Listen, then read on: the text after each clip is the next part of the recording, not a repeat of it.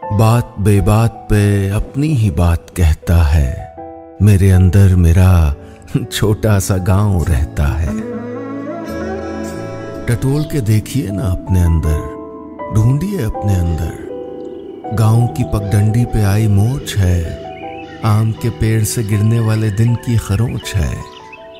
बाग में खेले क्रिकेट का पसीना है।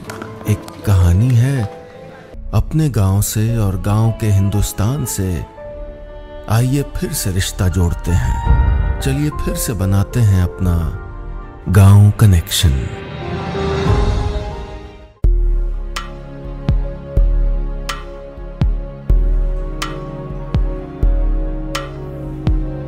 ये जो देश है तेरा स्वदेश है तुझे है पुकारा।